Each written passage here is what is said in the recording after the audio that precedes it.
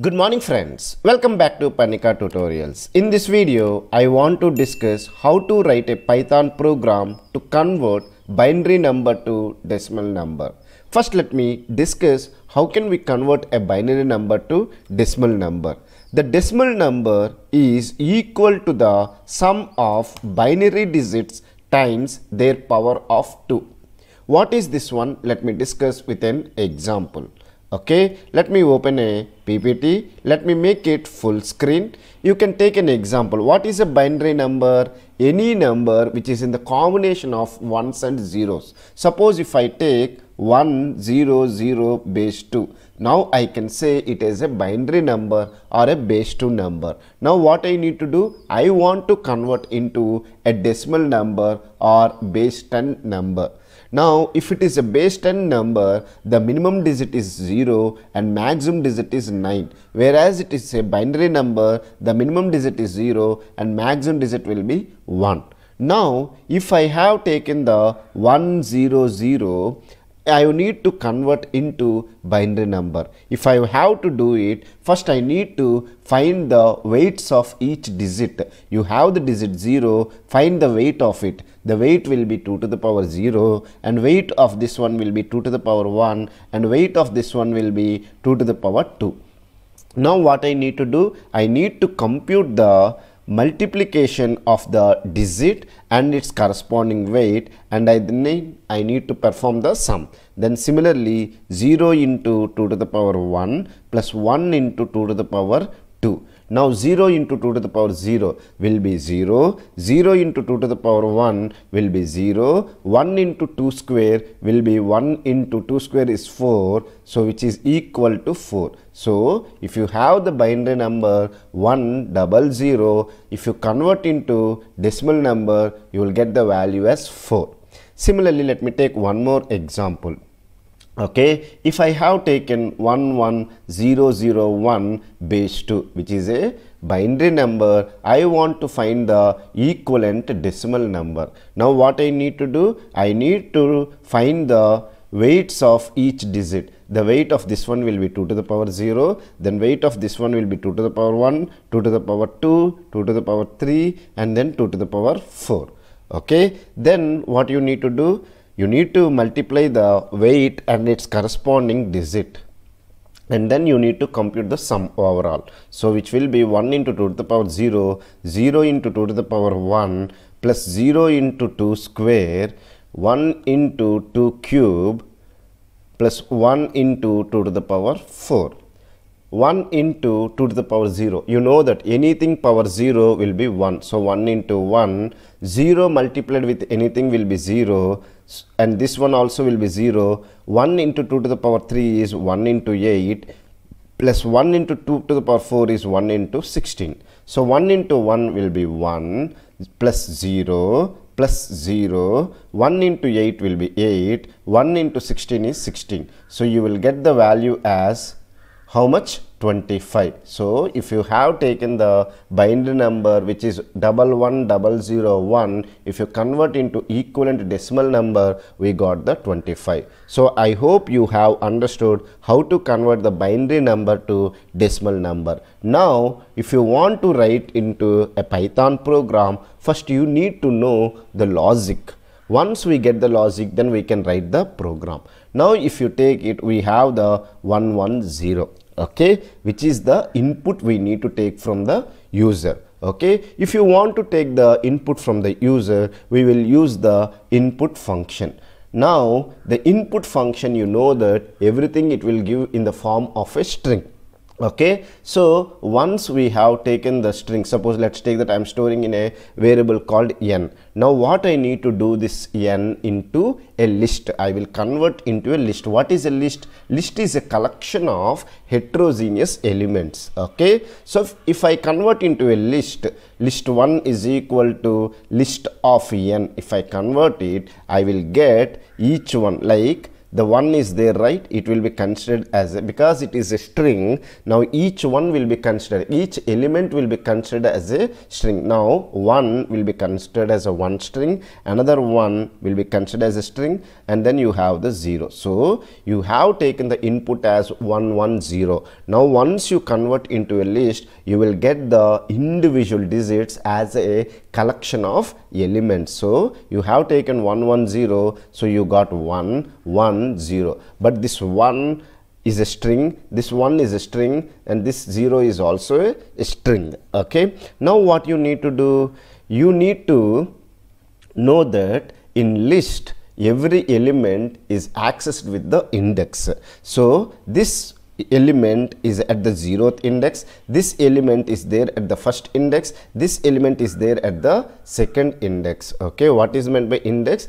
If we say that using that index we can access the any element randomly. Suppose if i want to access this element then i can simply write list 1 of 1 because this element 1 is there at the index 1 now once we got this information what we need to do is that we need to reverse this one. Why we need to reverse it? You will understand. If i reverse this one we will get a 0 then you will have 1 and this one you will have a 1 now what is the index? This is at the zeroth index this is first index this is at second index.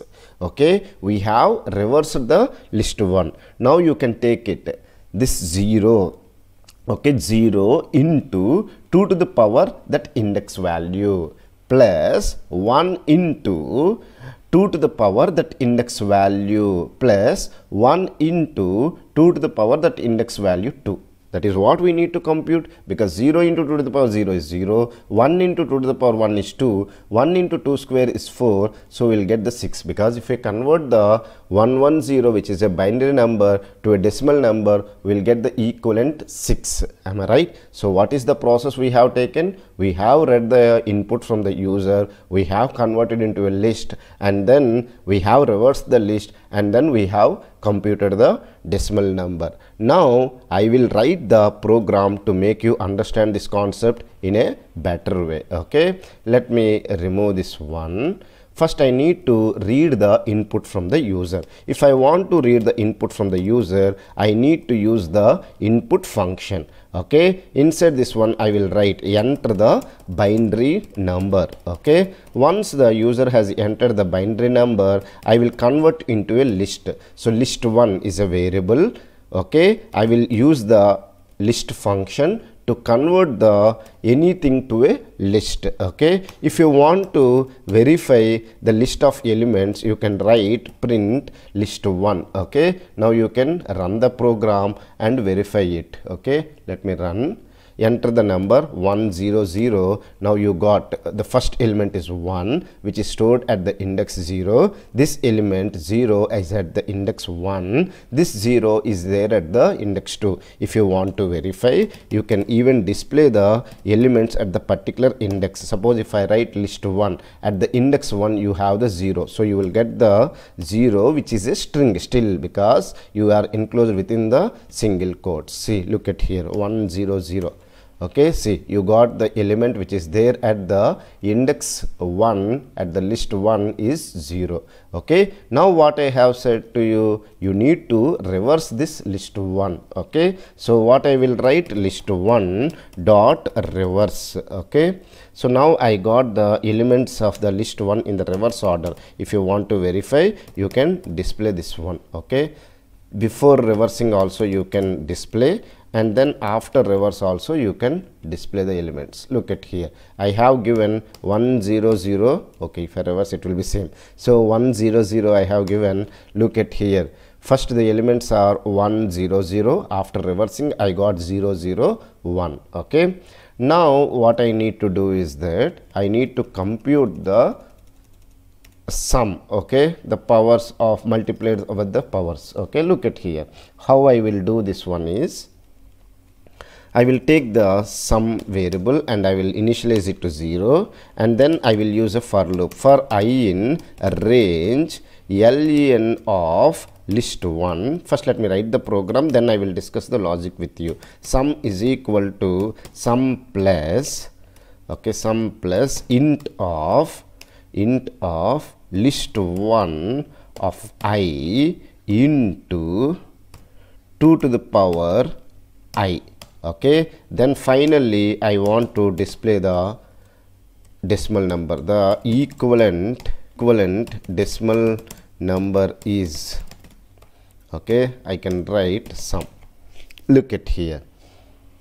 If I run the program look at here I have given 100 what is the equivalent decimal number is will be 4 if you have to verify you can run it and you can see the output is 4 now how it is happened let me discuss with you all.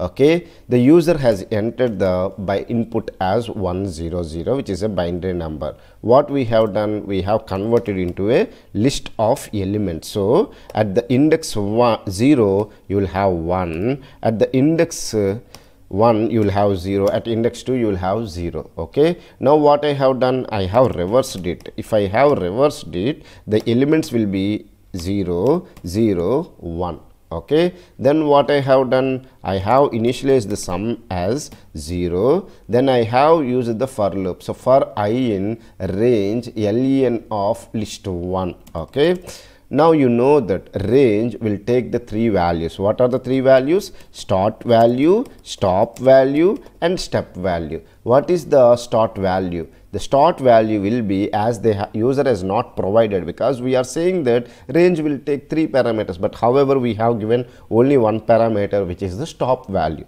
If you give only one value then it will consider it as a stop value. Then what is the start value and step value? The default values will be considered the start default value will be 0 and the stop value here is len len is nothing but computing the length of the list one. Length means number of elements in the list. How many elements are there? Three elements are there. 0 0 1 so totally three elements are there. So stop will give the value as 3 and step value as the user has not provided the default value will be considered which is equal to 1 then as the user has in written for i in okay?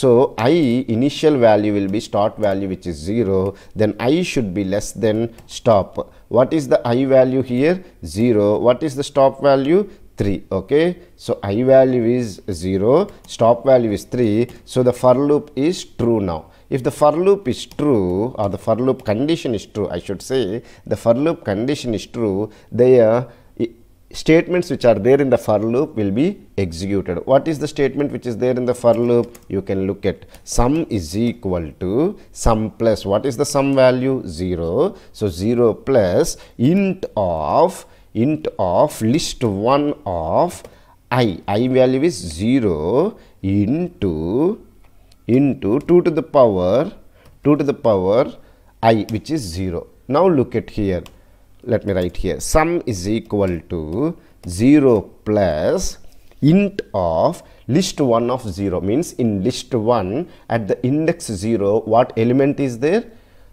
0 is there. That you are converting into integer because now as the input function will consider everything in the string so each element will also be considered as a string okay? So now this 0 is in the form of a string okay so that's why i'm converting into a 0 so sum is equal to 0 plus 0 into 2 to the power 0 you know that anything power 0 will be 1 so 0 into 1 will be 0 so 0 plus 0 is sum is still 0 only.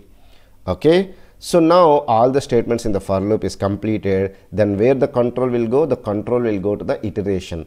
The i value is 0 and step value is 1. So i value will be incremented by step which is 1. So i value will become 1 then you will verify the condition. What is the condition? I should be less than stop. What is the i value? 1 what is the stop value? 3 so 1 is less than 3 so the condition is true. If the condition is true again the statements which are there in the for loop will be executed. What is the statement? Sum is equal to sum plus int of list 1 of i into 2 to the power i. Sum value is still 0 so 0 plus int of list 1 of 1 okay and then into 2 to the power i which is 1 so in list 1 at index 1 you have the 0 so 0 plus 0 into 2 to the power 1 2 to the power 1 is 2 so 0 into 2 will be 0 so 0 plus 0 will be 0 so still sum is 0 then all the statements in the for loop is completed. Again the control will go to the iteration. I value is 1 step value is 1 so you need to increment the i value by 1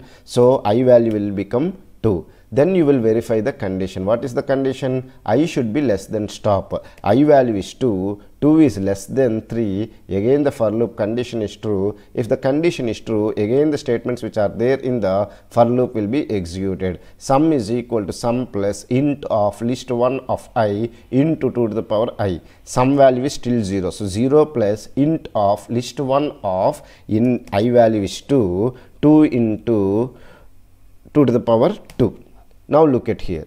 Sum is equal to 0 plus list 1 of 2. List 1 at the index 2 what element is there? 1. So 1 into 2 to the power 2. 2 to the power 2 is 4. Okay. So look at here. 0 plus 1 into 4 will be 4. So 0 plus 4 is equal to 4. Now the sum value is 4.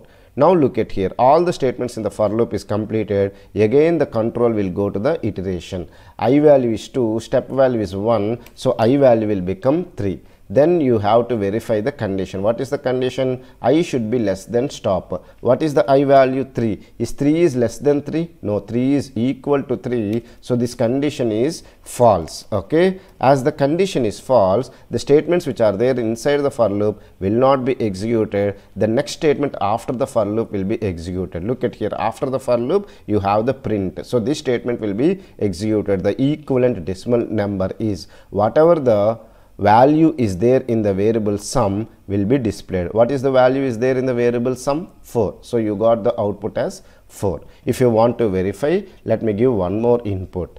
Okay, 4 ones which is equivalent to 15. Okay, so you got the equivalent decimal number is 15. I hope you have understood how to write a Python program to convert the binary number to decimal number. If you still have any doubts related to this concept, feel free to ask me in the comment section. I will try to clear your doubts as early as possible. Thank you for watching the complete video. Have a nice day.